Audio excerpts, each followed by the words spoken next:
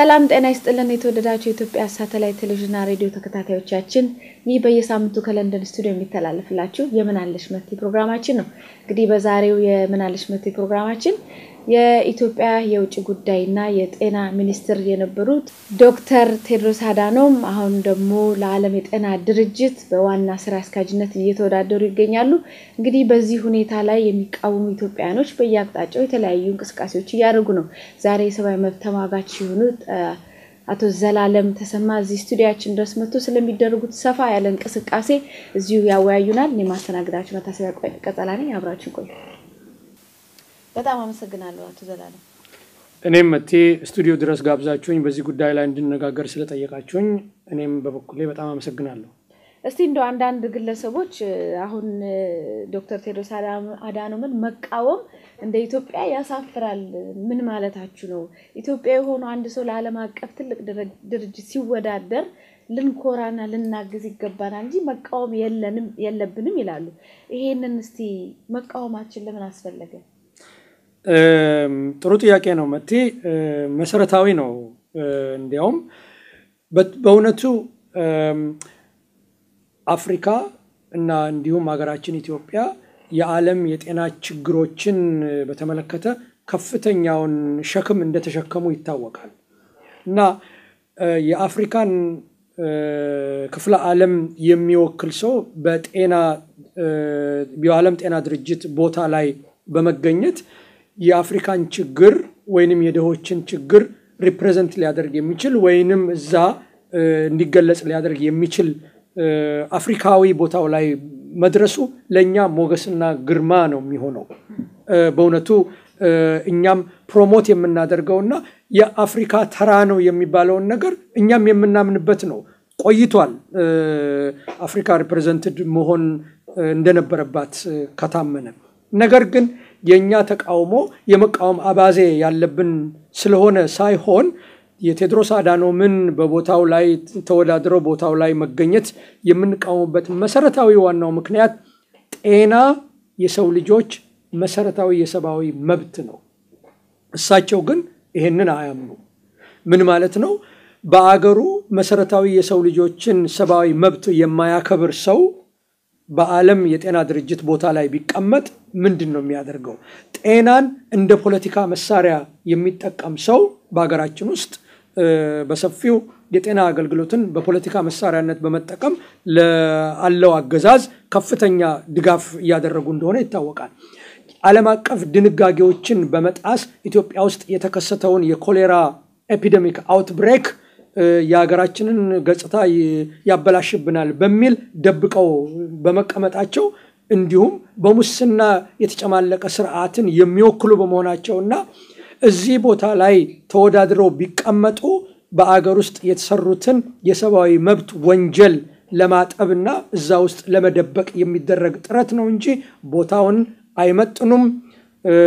እንዲሁም ሬኮርዳቸው የሚያመለክተው ለዛ የሚያሳየን እዛ ቦታ ላይ ቢቀመጡ የአፍሪካን የጤና ችግር ከመቅረፍ ይልቅ ለሌሎች ለምሳሌ ለመድኃኒት ፋብሪካ corporate firms objective ለማሟላት ወይንም ሌሎች ግለሰቦችን እንደነ ቢል ጌትስ እና ተመሳሳይ ይህንን ነገር ከዓለም ጤና ድርጅት እጅ አውጥተው ለማንም ተጠያቂነት የሌላቸው ሰዎችን አጀንዳ ለማሟላት ነው እንጂ የሚሄዱት ለአፍሪካ ወይንም ለኢትዮጵያ የሚረባ ነገር አያደርጉም የሚል ጽኑ እምነት ስላለን ነው ይህን የምንቃወመው።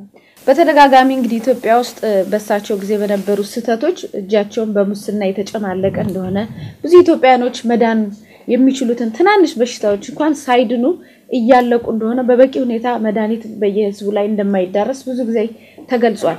ግን እሳቸው ለዚህ ቦታ መስፈርቱን ያሟላሉ ወይ? በእኛ ግምት መስፈርቱን አያሟሉም። መስፈርቱን አያሟሉም ስንል በነገራችን ላይ ይህ የመጀመሪያ ጊዜ ነው። እስከ ዛሬ ድረስ በዓለም ጤና ድርጅት ላይ በዲሬክተርነት ያገለገሉት ወይንም በዲሬክተርነት የተወዳደሩ በሙሉ ሁሉም medical ዶክተሮች ናቸው። ይሄ በትክክልም መሆን ያለበት ነው። ምክንያቱም የዓለም የጤና ድርጅት ዓለም ላይ ያለውን ጤና standard set ነው የሚያደርገው። በዓለም ላይ የሚከሰቱ የጤና ችግሮችን epidemics ን አግባቡ የሚመራና ያንን ነገር coordinate አድርጎ ችግሩን የሚፈታ ነው በዓለም ላይ እና እኚህ ሰው እንደምናውቀው የማሌሪያ expert ነት PhD ነው ያላቸው። medical doctor አይደሉም። ምናልባት ራሳቸው medical doctor ነኝ ብለው promote አድርገው ሊሆን ይችላል እስካሁን ግን አይደሉም። እና ግን ከዛ ሁሉ በበለጠ ሁኔታ ዋናው መሰረታዊ መስፈርት መሆን ያለበት ለሰው ልጅ ሕይወት፣ ለሰው ልጅ መብት፣ ለሰው ልጅ ጤና የሚቆረቆርና ለዛ ተግቶ የሚሰራ መሆኑን ያለ አድሎ ያንን ነገር ያለው ሰውና integrity ያቸው ወይም morality ያቸው ለዚህ ቦታ አያበቃቸውም የሚል እኛ ጽኑ እምነት አለን። ይህንን ደግሞ ያለ መረጃ አይደለም የምንናገረው። በእውነቱ በሀገራቸው ላይ ያለውን ህዝብ የጤና ሁኔታ ብዙ እርምጃዎች ተደርገዋል ሊባል ይችላል ኢትዮጵያ ውስጥ። በአንጻሩም ደግሞ ብዙ ያልተደረጉ ነገሮች፣ የተበላሹ ነገሮችን መዘርዘር ይቻላል። መሞት የሌለባቸው ሰዎች ብዙ ሰዎች ሞተዋል በኮሌራ አውትብሬክ እነሱ በደበቁት በመደበቃቸው ወንጀል። ከዛ በተረፈ የዓለም Global Fund ለኢትዮጵያ ለማሌሪያ፣ ለኤድስ እና ሌሎች epidemic ችግሮች ያፈሰሰውን ገንዘብ በተመለከተ የ Global Fund audit report ን ብንመለከት ትልቅ በሙስና scandal ወይንም ቅሌት የተጨማለቀ እንደሆነ ነው የሚያመለክተው እና ይህ ሁሉ እጃቸው ላይ ያለ ሰው በእውነቱ ይህን ያህል ደግሞ ከፍ ያለ ቦታ ቢሰጣቸው ምን ሊያደርጉ እንደሚችሉ ሌላ of course ያልጠቀስኩት ነገር ቢኖር እና ከባድ ወንጀልም ነው ተብሎ የሚነሳው ነገር አገር ውስጥ ያለን የ demographic structure የጤና አገልግሎትን በመጠቀም እንዴት አድርገው ለማዛባት እንደሞከሩ ይኸውም በአማራ ክልል የሚኖሩ ሴቶችና እናቶች ያለ ፈቃዳቸው እንዳይወልዱ በማድረግ እኛ እስከምናውቀው ድረስ እንዲያውም ፓርላማ ውስጥ ቀርቦ የነበረው ባለፈው አስር ዓመት ውስጥ የአማራ ሕዝብ ቁጥር በሁለት ነጥብ ሚሊዮን ቀነሰ ወይንም ጠፋ፣ ያንን explain ማድረግ አልቻልንም ብለው የስታቲክስ ጽሕፈት ቤቱ ዋና ኃላፊ ራሱ ከተናገሩት መካከል አንደኛው ምክንያት ይሄ እንደሆነ እናውቃለን። እና ይህ እነዚህ እነዚህን ነገሮች ለማድረግ ወደኋላ የማይል ግለሰብ የዓለም ጤና ድርጅት ዋና ዲሬክተርነት ወይም ዋና ስራ አስኪያጅነት ቦታ ቢሰጣቸው ምን ሊያደርጉ እንደሚችሉ መቼም በጣም የሚያስፈራና የሚያስደነግጥ በመሆኑ ይህንን ነገር የዓለም ማህበረሰብ እንዲያውቀውና በተቻለ መጠን ለቦታው የሚመጥንና አግባብ ያለው ሰው ቦታው ላይ እንዲቀመጥ ለማድረግ ነው እንግዲህ የእኛ ካምፔን። እንግዲህ ኢትዮጵያ በጣም ድሃ ከሚባሉት ዓለም ሀገሮች አንዷና በድህነት ተቀዳሚዋ ነች ማለት ይቻላል። ከዛ ውጭ ኢትዮጵያ ሀገራችን ውስጥ በጤናም ሆነ በብዙ ነገሮች ብዙ ችግር አለ። ብዙ ኢትዮጵያውያኖች የሚበሉት የሌላቸው ብዙ ኢትዮጵያውያኖች አሉ። እንደውም በአሁን ሰሞኑን እየሰማን ያለ ነው ከፍተኛ የሆነ ድርቅ በኢትዮጵያ ላይ እየተከሰተ እንደሆነ እናምናለን። ከዛ ውጭ ደግሞ ከፍተኛ የሆነ ገንዘብ እሳቸውን የዓለም የጤና ድርጅት ውስጥ ለማስመረጥ እየባከነ እየወጣ በየአካባቢው እየተበተነ ነው ያለው ይባላል። ይሄ ገንዘብ ከየት እንደመጣ ምን ያህል መረጃ አለ? ወል እሱ ሌላው በጣም የሚያሳዝነው ነጥብ ነው። ከሰባት ሚሊዮን በላይ ሕዝብ በአስቸኳይ የምግብ እርዳታ በሚያገኝበት አገር ላይ እንደዚህ አይነት ቫኒቲ ፕሮጀክት አዘጋጅቶ የዓለም ጤና ድርጅት ዋና ዲሬክተርነትን ለመመረጥ የኢትዮጵያ መንግስት መድቦ SRG በሚባል የ lobby company 150 ሺህ ዶላር በየወሩ ይከፍላል። ይህንን ቦታ ማግኘት የሚገባው ሰው ባለው ክህሎት፣ ባለው ልምድ፣ ባለው የመሪነት ችሎታ ነው እንጂ መገኘት ያለበት በገንዘብ የሚገዛ ቦታ መሆን የለበትም ነው። ሌላው ደግሞ የኛ argument እና እውነትም በጣም የሚያሳዝን ነው። ብዙ የተራቡ ህፃናትና እናቶች እየሞቱ ልጆች ትምህርት ቤት ቁጭ ብለው ትምህርታቸውን መከታተል እስከሚያቅታቸው ድረስና አስተማሪዎች ከኪስ ገንዘባቸውና ከደሞዛቸው እያወጡ ለልጆች ወተትና ዳቦ እየገዙ በሚያስተምሩበት አገር ላይ ይህንን ያክል ገንዘብ አፍስሶ በጣም priority ው በጣም በጣም የተዛባ እንደሆነ ነው የሚያመለክተው እና በእውነቱ ለሀገሩና ለሕዝቡ የማያስብ ሰው እንዴት አድርጎ ነው ለዓለም ሕዝብና ለዓለም ጤና የሚያስብ የሚባለውን ነገር ሌላውን ትልቁን ጥያቄ የሚያስነሳው ይሄ ጉዳይ ነው። እስቲ ከጀርባው ይህንን campaign ለማስኬድ ሌሎች ግለሰቦች አሉበት ይባላል እና እነማን እነማን እንዳሉ ከዚህ በፊት ከሌላ ሰው ጋር interview አድርገን ተወያይተንበታል። እነዚህ ሰዎች የእውነትም ከኋላ አሉ ወይስ ገንዘባቸውን እያፈሰሱ ነው ወይስ ከሆነስ ምንድን ነው እሳቸውን እዛ ቦታ ላይ በማስቀመጥ እነሱ የሚያገኘው ጥቅም ምንድን ነው? ያ በእውነቱ ይሄ የኢትዮጵያ መንግስት ወይንም አገዛዝ ወይንም የዶክተር ቴዎድሮስ አዳኖም የብቻ ፕሮጀክት እንዳልሆነም ነው እኛ የምንረዳው እና በቦታው ላይ ለመወዳደር ሊመጡ ይችላሉ። የአፍሪካ መሪዎች በ AU ስብሰባ ላይ የእሳቸውን candidacy endorse እንዳደረጉ I think ያው በይፋ የተዘገበ ጉዳይ ነው።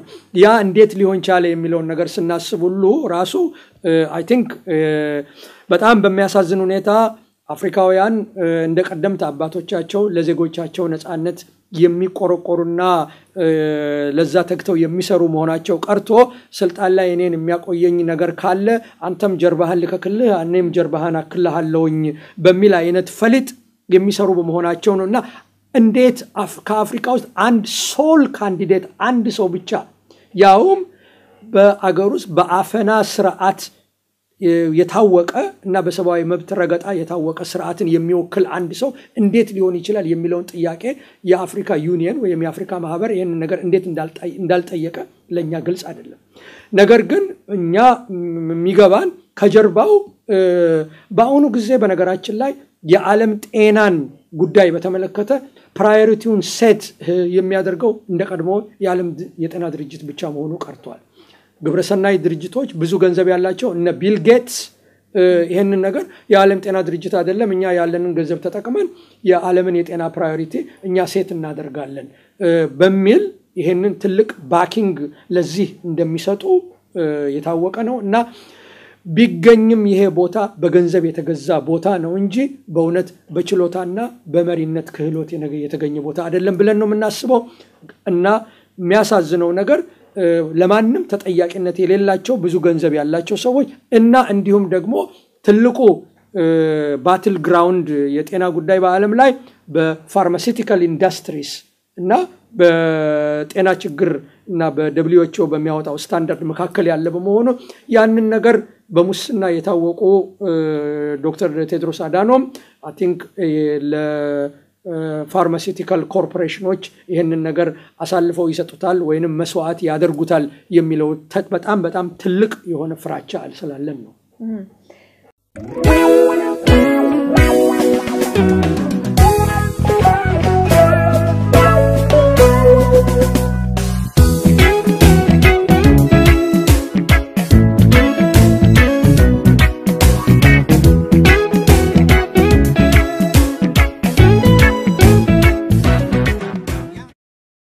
እንግዲህ ከምርጫው በፊት ብዙ እንቅስቃሴዎች እየተደረጉ ይገኛሉ። ለምሳሌ አርብ አርብ በአውሮፓ ሰዓት አቆጣጠር seven o'clock በለንደን six o'clock እንዲሁም ደግሞ በሌሎች በዛኑ ጊዜ ላይ ሁሉም ሰው የ Twitter campaign እንዲያደርግና እንዳለ ለ international ድርጅቶች፣ ለዓለም አቀፋዊ ድርጅቶች፣ ለዓለም አቀፍ ሚዲያ እና ለተለያዩ ተቋማት ይሄንን ነገር እንዲያሰማ ጥረት ማድረግ አለበት መላው ኢትዮጵያዊ ተብሎ እንቅስቃሴ ተጀምሯል። እስቲ እንግዲህ ምርጫው መቼ ነው? ከምርጫው በፊት ያሉትን እንቅስቃሴዎች እስቲ ሰላማዊ ሰልፎችንም የ Twitter campaign ኑንም እስቲ በደንብ አስረድ። እንግዲህ የዓለም ጤና ድርጅት በ January 2017 ስድስት የነበሩትን candidate ኦች short list አድርጎ ወደ ሶስት አውርዷቸዋል። ሶስቱም የመጀመሪያው የኢትዮጵያው የቀድሞ የጤናና የውጭ ጉዳይ ሚኒስትር የነበሩት ዶክተር ቴድሮስ አዳኖም፣ የእንግሊዙ ዶክተር ዴቪድ ናቫሮ እና የፓኪስታኗ ዶክተር ሳኒያ ኢሽታር ናቸው። እኛ ቀድሞውንም ይሄ ነገር October 2016 በፊት ገና ዶክተር ቴድሮስ አዳኖም በመጀመሪያ ከሁሉም ከሁሉም በፊት front runner ሆነው candidate ኦቻቸውን ያወጁ ሰው ናቸው። ያንን ከሰማንበት ጊዜ ጀምሮ የተለያዩ ዘመቻዎችን እያደረግን ነው። ይኸውም ዓለም ጤና ድርጅትን የ executive board ኡን የአባል ሀገሮችን contact እያደረግን ይሄንን ነገር እየተመለከታችሁት ነው ወይ፣ ይሄን ነገር ትክክል ነው ወይ? የሚል ነገር ደብዳቤዎችን እያስገባን ሌሎችም evidence ኦች የሚሆኑ ነገሮችን የእሳቸውን candidacy ጥያቄ ምልክት ላይ የሚያደርግ ነገር ስናስገባ ቆይተናል። አሁንም ያለው campaign የዛው ቀጣይ አካል ነው እና በቅርቡ የምናደርጋቸው campaign ኦች የትዊተር campaign አለን።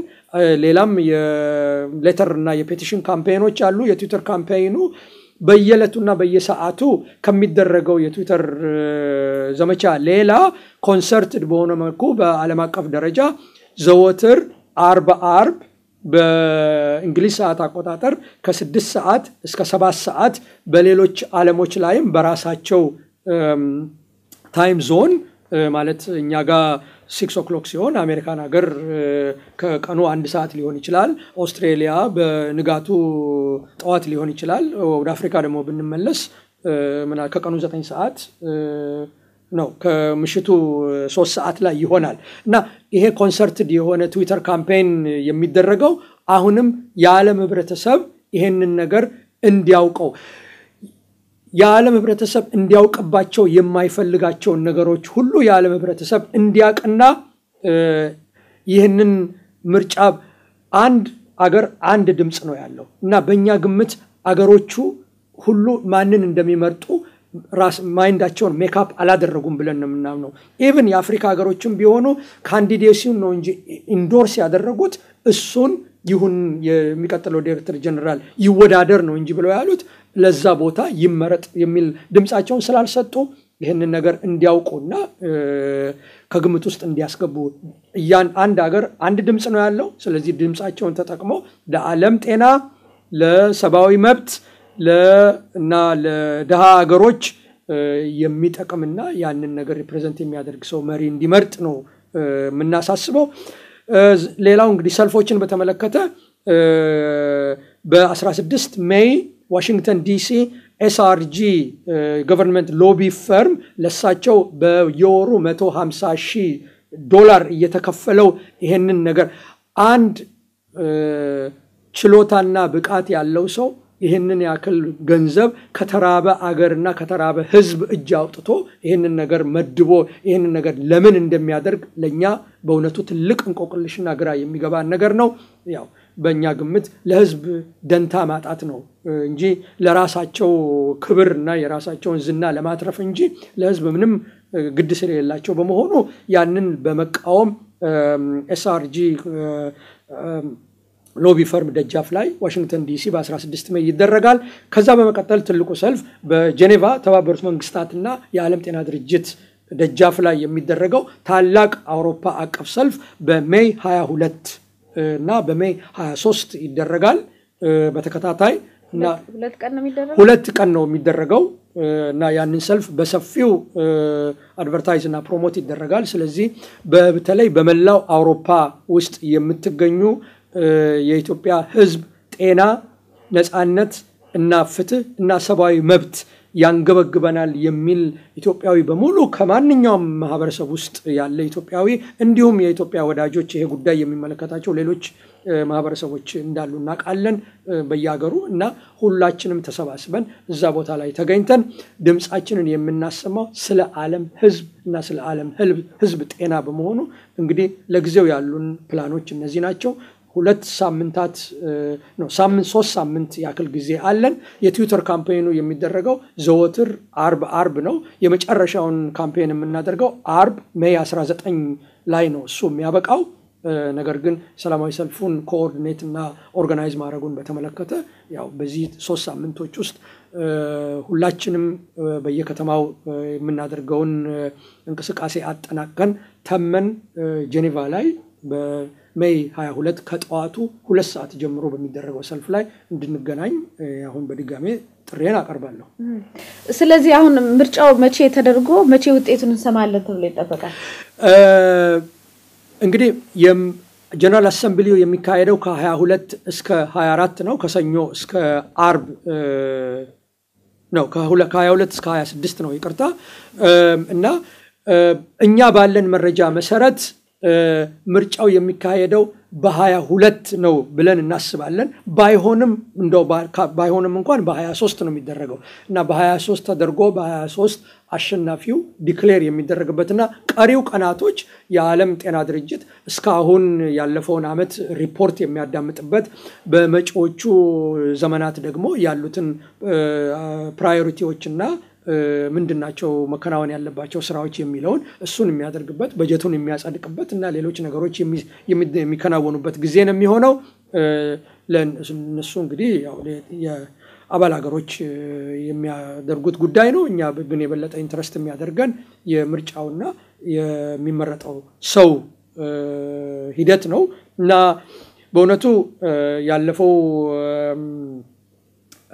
I think January ላይ ይመስለኛል ለዓለም ሕዝብ በ web በ streamlined በሆነ መልኩ ሶስት ተወዳዳሪዎች ቀርበው ነው ስድስት ተወዳዳሪዎች ቀርበው የዓለም ጤና ተወካዮች ጥያቄ አቅርበውላቸው በነበረበት ጊዜ የእኛው ዶክተር ቴድሮስ አዳኑም በምን አይነት ትንሽ አሳፋሪ በሆነ መልኩ እንኳን የሚቀርቡላቸውን ጥያቄዎች ለመመለስ ቀርቶ ጥያቄዎቹንም እንኳን በትክክል የመረዳት ችግር እንደታየባቸው ነው የምንመለከተው እና ይህ እንግዲህ በአስተርጓሚ የሚመራ ቦታ ከሆነ እስቲ እንግዲህ እንዴት እንደሚሆን እናያለን። ግን በእውነቱ ዋናውን የ WHO ን priority challenge እና direction of travel የሚባለውን ነገር እየተረዱት መሆናቸውን በጣም በጣም ጥያቄ ላይ የሚያስቀምጥ performance ነው የነበራቸው እና ቅድም በንግግራችን ላይ አንድ ሀገር አንድ ምርጫ ነው የመስጠት የሚችለው አንድ ድምፅ መስጠት ነው የሚችለው ተብሎ ነበር እና አሁን ይሄንን ነገር እንግዲህ ለዚህ ለዓለማወቅ ለደብሊዎች ለሚገባቸው አካላቶች ይሄንን ነገር ከማስረዳት ውጭ ለሚመርጡ አገሮችስ የእሳቸውን ማንነት በኢትዮጵያ ላይ ያደረጉትን ወንጀል እና ያሉትን ነገሮች ማስረዳት ጥቅም ይኖረዋል? በትክክል ጥቅም ይኖረዋል። እሱንም እያደረግን ነው። በተለያዩ በጽሁፍ በቪዲዮ የተደገፉ ማስረጃዎች ዜጎች እንዴት አድርገው እንደተሰቃዩ በሳቸው አመራር በጤና ጥበቃ ሚኒስትር በነበሩበትም ጊዜ ይሁን የውጭ ጉዳይ ሚኒስትር በሆኑበት ጊዜ ዜጎች እንዴት አድርገው እንደተሰቃዩና ብዙዎች መሞት ያልነበረባቸው ሰዎች የሞቱበት ሁኔታ እንዳለ ነገር ግን እዛ ሀገር ውስጥ ተጠያቂነት ያለበት ሁኔታ ባለመኖሩ ማንም ተጠያቂ አላደረጋቸውም እንጂ በነፃው ሀገር ቢሆን ያንን አይነት ነገር አድርጎ እንኳን ለበለጠ ቦታ ላይ ለመወዳደር ቀርቶ ያለበትን ቦታ ላይ ራሱ መቆየት የማይቻልበት ተጠያቂነት ሊኖር እንደሚችል እንገነዘባለን። ነገር ግን ያለው ስርዓት የሞቱለትን ሳይሆን የገደሉትን ሶርት የሚያጎለብትና የሚያከብርና ከፍ ከፍ የሚያደርግ በመሆኑ የሞቱ ሰዎች ተረስተው ገዳዮች ከፍ ያለ ቦታ ላይ እንዲቀመጡ የሚደረግበት ሁኔታ ነው ያለው። በእርግጥ እሳቸው እንደ ስራቸው ከሆነ እንኳን ስለዚህ ትልቅ ቦታ መመረጥ ይቅርና ምናልባት በወንጀል በአደባባይ በሕግ ቦታ ላይ ሊጠየቁ የሚገባቸው ግለሰብ ናቸው። ለማንኛውም ይህንን ስራ ደብዳቤ በመጻፍ በየሀገሩ ያሉትን መንግስታቶች ይህንን ጉዳይ በማሳወቅ ለደብሊዎች ለሚመገባቸው ሁሉ ይህን ሁሉ ነገር የሚያዘጋጀው ቡድን ማን ነው? እስኪ ትንሽ እንተዋወቀው። በዓለም አቀፍ ደረጃ ይህንን ነገር ኮኦርዲኔት የሚያደርገው የሰብአዊ መብት እና የፍትህ ግብረ ኃይል አለ። ይህ የሰብአዊ መብትና የፍትህ ግብረ ኃይል በአውሮፓም በየሀገሮቹም በአሜሪካም፣ በካናዳም፣ በአውስትሬሊያም ቅርንጫፎች አሉት። ከሱ ጋር በመተባበር የኢትዮጵያ አድቮካሲ ኔትወርክ ብዙውን ስራ ይሰራል። እና በአውሮፓ ደረጃ የሚደረጉን ሰልፎች በዋናነት የሚያስተባብረው በአውሮፓ የሰብአዊ መብትና የፍትህ ግብረ ኃይል ነው። እንዳልኩት ቅርንጫፎቹ በአውሮፓ ከተማዎች ላይ አሉ። እና ይህ እንግዲህ ስብስብ ነው ይህንን ጉዳይ በተደጋጋሚ በሌሎች ጊዜም በኢትዮጵያ ውስጥ የሚደረጉትን የመብት ጥሰቶች እና የአፈና እንትኖችን በማጋለጥና ለዓለም ማህበረሰብ በማሰማት ከፍተኛውን እንቅስቃሴ የሚያደርገው ነው። ይህ ኃይል ነው አሁንም ይህንን ነገር coordinate የሚያደርገው። ባለፈው አርብ የተደረገው የትዊተር campaign በጣም ብዙ ሰዎች ሲቀባበሉት ነበር፣ በጥሩ ሁኔታ ሲሄድ ነበር እና እዛ ቦታ ላይ የሚፈለጉ ስሞች ለምሳሌ ሰው hashtag እንዲያደርጋቸው የሚፈልጉ ስሞች በፌስቡክ ሲመላለሱ ነበር። ሰዎቹ ፌስቡክ ላይ የተለጠፉ ከሌላ ከሌላ ከሌላ hashtag አድርጉ ተብሏል እና ከዛ ውጪ እንደው ሊጠቅም ይችላል የሚባሉ ሚዲያዎች ወይ international body ዎች አለ ወይ እዚህ ነገር ውስጥ ሊገቡ ሊካተቱም ይገባል? ያ በትክክል እንግዲህ የትዊተር campaign ን effectively ለመጠቀም አሉ የሚባሉ ትላልቅ ሰዎችንም ይሁን ትላልቅ ድርጅቶችን hashtag በማድረግ ማለት ያው እነሱን tag በማድረግ ነው እነሱም እንዲደርሳቸው ማድረግ የሚቻለው። እና ከነዛ ውስጥ አሁን እንግዲህ ዋናው ትልቁ hashtag No ቴድሮስ አድሃኖም for WHO የሚለው ነው። እና ያንን ለቢቢሲ፣ ለሲኤንኤን ላሉ የዋና ዋና ጋዜጦች ታይምስ፣ ኦብዘርቨር፣ ቴሌግራፍ እኔ በእንግሊዝ ሀገር ነው የምናገረው ጋርዲያን ሁሉ እና በአውሮፓም ባሉ በተለያዩ ቋንቋዎች በፈረንሳይኛም በጣሊያንኛም በጀርመንኛም ላሉ እነሱን hashtag እያደረግን ይህን ነገር ብንልክላቸው of course የማያውቁት ነገር አዲስ ነገር እነግራቸዋለን ማለታችን አይደለም። ነገር ግን ይህ ነገር ከፍተኛ አቧራ እያስነሳ እንደሆነና ጩኸቱ የዝም ብሎ የባዶ ጩኸት እንዳልሆነና ብዙ የሚቆረቆሩ ሰዎች በዓለም ላይ በዚህ ጉዳይ ላይ እንዳሉ የሚያስረዳ በመሆኑ ይህንን ነገር ሲመለከቱ እስቲ ቆም ብለን እናስብ፣ እንደገና እንጠይቅ፣ ይሄ ነገር በእውነት ትክክል ነው ወይና ወደኋላ እንመርምር ተብሎ ጉዳዩ በተከፈተ ቁጥር የነሱ የቴድሮስ አዳኖም ሬኮርድ የሚያሳየው በሰብአዊ መብት ላይ የተሰራ ወንጀልን በዓለም በጤና ላይ የተሰራ ወንጀልን የሚያመለክት በመሆኑ እነሱ እንዲሰማባቸው የማይፈልጉትን ገጽታም አሳይተን ከዛ በኋላ የዓለም መሪዎች mind አቸውን make up አድርገው የሚመርጡትን መምረጥ የእነሱ ፋንታ ነው። ነገር ግን የእኛ ግዴታ ይህንን ነገር እንዲያውቁት የማድረግና በኋላ አልሰማንም፣ አላወቅንም፣ ሳናቅ ነው ይሄ ነገር የሆነው ብለው እንዳይሉ ያንን ነገር አበክረን ማስቀመጥ ስላለብን ነው። እሺ ወደ ሰላማዊ ሰልፉ አንዴ እንመለስና በ22 እና በ23 ነው ተብሏል እና እንግዲህ አዳር ነው። ሰዎች ከሌላ ሀገራቶች እንዲመጡ ሁሉ ተጋብዟል። እንደውም በአውሮፓ ያሉ ሁሉ ከየአቅጣጫው መጥተው እንዲሰባሰቡና ሁለቱም ቀን በዛ በጄኔቫ ከተማ ላይ እንዲገኙ ታስቧል እና ይሄ ነገር እንዴት ነው? የማደሪያ ነገር ግለሰቡ ከየአካባቢው ሲመጣ እነዚህ ነገሮች ታስቦበታል?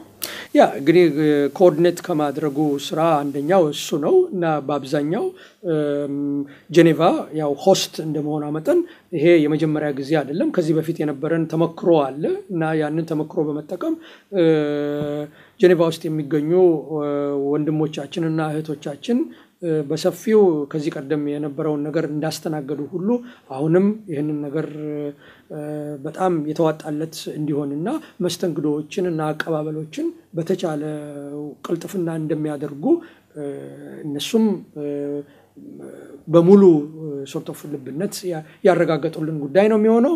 እኛም ምንም ጥርጣሬ የለንም ያ ነገር በአስፈላጊው መጠንና ሁኔታ ዝግጅት እየተደረገበት እንደሆነ።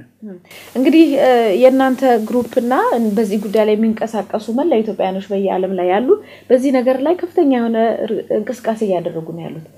ይሄን ማድረጉ ለውጥ ያመጣል፣ ውጤት አለው ተብሎ ይታሰባል። ያ እንግዲህ አንድ ነገር ሲደረግ ነው ለውጥ ያምጣም አያምጣም የሚባለው ነገር የሚታወቀው። okay ምናልባት እኛ የእነሱን ያክል financial backing ላይኖረን ይችላል። የእነሱን ያክል ሌሎቹን bribe የምናደርግበትና የምንገዛበት አቅም ላይኖረን ይችላል። ነገር ግን ዜጎች ነን፣ የዓለም ዜጎች ነን፣ የአፍሪካ ዜጎች ነን እና ይህንን ነገር እኛ የምንለውን ነገር የሚሰሙ የሚከተሉ የእኛም ድምፅ ነው ብለው የሚሉ ሚሊዮን አፍሪካውያኖች አሉ እና እነሱም ይህንን ነገር እየሰሙ የየራሳቸውን መንግስታትና የየራሳቸውን መሪዎች በዚህ በዚህ ይህን ጉዳይ ኮንሰርናቸውን እንዲያነሱ እየገፋፋን ያለ ነው። ያ ከተደረገ እንግዲህ ለህዝቤ እቆረቆራለሁ፣ ለህዝቤ ጤና እቆረቆራለሁ የሚል መሪ ያለ ከሆነ ይሄ ነገር እማ ለውጥ የማያመጣበት ምንም ምክንያት የለም። እንደው ለውጥ ባያመጣና ቢመረጡ እንኳን በሰው ልጅ ላይ ግፍ ሰርቶ እንደዚህ አይነት ቦታ ላይ መምጣትና መወዳደር አደገኛ መሆኑ የታየበት አጋጣሚ ነው። እንደው ቢመረጡ ፈረንጆቹ እንደሚሉት plan B የሚባል ነገር አለ? campaign ኑ ይቀጥላል ወይስ ምንድን ነው የታሰበ ነገር አለ? absolutely ይሄ እኛ እንደምንለው የዓለም የጤና ድርጅት የሰብአዊ መብትን ወንጀል የፈጸሙ ሰዎች መሸሸጊያ ቦታ አይደለም። ቢመረጡም እንኳን በተከታታይ እኛ እሳቸውና እሳቸው የሚወክሉት ስርዓት በኢትዮጵያ ሕዝብ ላይ የሚያደርሰውን ነገር ከማጋለጥ ወደኋላ አንልም። ያ ደግሞ ይዋል ይደር እንጂ እየተከተላቸው የእሳቸውን ስምና record የሚያበላሽ ነገር በመሆኑ በዚህ ነገር whitewash ያደርጉታል ወይንም እንሸፍነዋለን ብለው የሚል sort ህልም ያላቸው ከሆነ ያ ሊሆን እንደማይችል እና ፍትህ እና እውነት የሚወጣበት ቀን ይመጣል። በዛ ጊዜ ሁሉም ነገር ይገለጣል። እሺ እንግዲህ የሰብአዊ መብት ተሟጋች አቶ ዘላለም ተሰማ ስለነበረን ቆይታ እጅግ በጣም አመሰግናለሁ። የሚጨምሩት ከሌለ በዚሁ ፈጽማል። እኔም በጣም አመሰግናለሁ ለሰጣችሁኝ ጊዜ። አሁንም ጥሪ የማቀርበው ጄኔቫ በሚደረገው በ22 May በሚደረገው ሰልፍ ላይ በአውሮፓ የምትገኙ የኢትዮጵያ ህዝብ ድምፅ ነፃነት፣ ፍትህ እና ጤና የሚያንገበግባችሁ በሙሉ እቤት ተቀምጦ ከንፈር መምጠጥ ለውጥ አያመጣም። እያንዳንዳችን አንድ action ለዚህ ነገር ብናደርግ ለውጥ የማምጣት ተስፋው በጣም ከፍ ያለ በመሆኑ በዚህ ትጋታችሁንና ትብብራችሁን በድጋሜ እየጠየቅኩኝ ለተሰጠኝ ጊዜ በጣም አመሰግናለሁ። እኔም በጣም አመሰግናለሁ። ተመልካቾቻችንና አድማጮቻችን ስትከታተሉት የቆያችሁት ከለንደን ስቱዲዮ የሚተላለፍላችሁን የምናለሽ መቴ ፕሮግራማችን ነው። የዛሬው ፕሮግራማችን በዚሁ ተፈጽሟል። የዛሬው መልእክታችን ከእውነት ጋር እንቁም ይሆናል። ከሳምንት ሰላም ቆዩ።